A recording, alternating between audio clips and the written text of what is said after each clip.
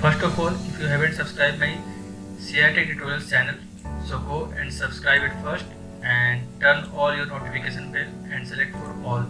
So all my new videos will notify by this notification.